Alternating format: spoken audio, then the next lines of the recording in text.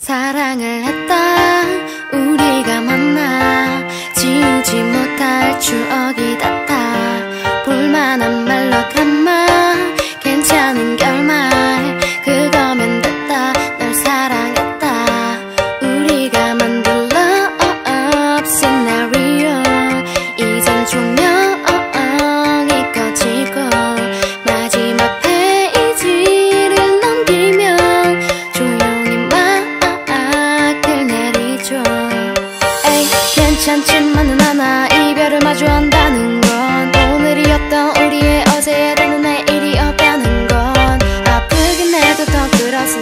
난 나니까 에이 널 사랑했고 사랑받았으니 난 이걸로 됐어 에이 나 살아가면서 가끔씩 떠오를 기억 그 안에 네가 있다면 그러면 충분해.